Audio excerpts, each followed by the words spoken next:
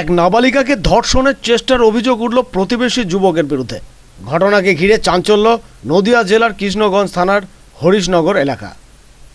অভিযোগ, মঙ্গলবার রাতে দাদার বাড়ি থেকে টিভি সিরিয়াল দেখে ফেরার পথে হঠাৎই দুই ভাই, প্রতিবেশী সুজিত ভট্টাচার্য ও প্রসেনজিৎ ভট্টাচার্য, আদিবাসী নাবালিকার মুখ চেপে ধরে জোরপূর্বক তাকে জঙ্গলে নিয়ে যাবার চেষ্টা করে বলে অভিযোগ। সেই সময় নাবালিকার চিৎকারে ছুটে আসে তার মা বাবা সহ প্রতিবেশীরা। এ বিষয়ে পরিবারের পক্ষ থেকে কৃষ্ণগঞ্জ থানায় অভিযোগের ভিত্তিতে অভিযুক্ত দুই যুবককে গ্রেপ্তার করে পুলিশ। বুধবার তাদের কৃষ্ণনগর জেলা আদালতে পাঠানো হয়। আর আমরা সেরকম কিছু জানি আমরা মদ খেয়েছিলাম জাস্ট হ্যাঁ। দিয়ে আমরা হেঁটে চলে যাচ্ছিলাম। আমাদের বাড়ির দোকান থেকে তুলে নিয়ে আসা হয়েছে। তোমার নাম কি? আমার সুজিত ভট্টাচার্য। তোমার কি পরিচিত ছিল ওরা মেয়েগুলো? না স্যার আমরা চিনি না। তাহলে তোমরা কি মদ খেয়ে এই কাজ করেছ? আমরা স্যার করিনি কিছু আমরা জানি না আমরা বাড়িতে তুলে নিয়ে আসতে হবে আমাদের।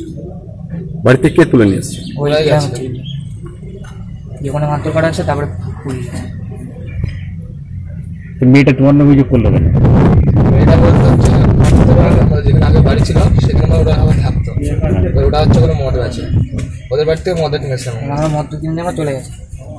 তারপরে ওখানে কী হয়েছে না হয়েছে আমি কিচ্ছু জানি না। নিয়ে আসার পর থেকে আমাদের কেমন করে তোমরা দুই ভাই কি করো এমনি কাজ আমরা বাইরে কাজ করতাম অভিযুক্তদের শাস্তির দাবি নাবালিকার পরিবারের। আমি আমাদের বাড়ি থেকে বৌদিদের বাড়ি যাচ্ছিলাম ঠিক দেখতে আর সেই সময় মানে ওরা ওইখানটায় দাঁড়িয়েছিল আমি তো জানি না আমি আমার মতন বৌদিদের বাড়ি যাচ্ছিলাম। আর সেই সময় ওরা কিছু না বলে আমার মানে দুই ভাই ছিল বড়টা হচ্ছে আমাকে কোলে করে নিয়েছিল। ছোটোটা মুখ চেপে ধরেছিল।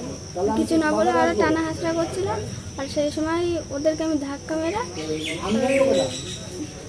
ধাক্কা মেরে হচ্ছে মাকে ডাকলাম। আর সময় সেই সময় মা বাবা সবাই লাইট নিয়ে দড়িয়ে আসলো তখন সেই সময় ওইখানটায় আমাকে একা ফেলে ওরা পালিয়ে গিয়েছিল। তুমি তোমার মুখে রুমাল চাপা দিয়েছিল? না না শুধু হাত দিয়েই মানে মুখে বাড়ির থেকে কত দূরে নিয়ে গেছিল বাড়ি থেকে এরকম হবে তিন তো তুমি আগে চিনতে ওদের? না। চিনতাম না। কথা মতো বলি না তুমি এখন কি চাইছো? ওদের শাস্তি চাইছি নদিয়া থেকে মাধব দেবনাথ আনন্দ বার্তা